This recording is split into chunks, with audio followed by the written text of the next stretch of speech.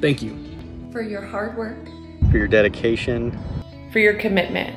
And for your endless support. Hi everyone. We've been working hard in the nursery and seed bank, but it's not the same without all of our amazing volunteers. We miss you so much. I hope that you and your loved ones are all staying safe and healthy, and we look forward to seeing you again soon.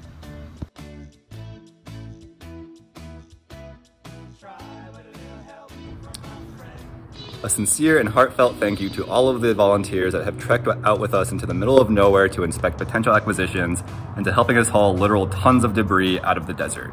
We could not do what we do without all of your generous and wonderful help. Thank you so much.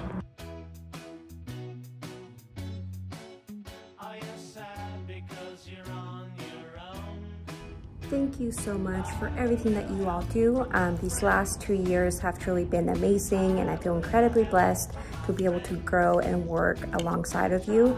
Um, we miss you and we can't wait to have you back.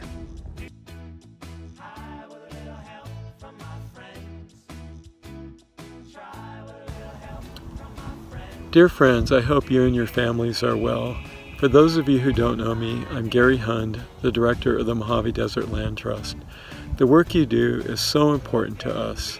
We rely on the help of dedicated volunteers to accomplish our mission, and we know that each of you can make a significant difference. On behalf of MDLT, thank you for your service and being so passionate about protecting our desert. We look forward to seeing you in person, hopefully again very soon. Thank you for your support.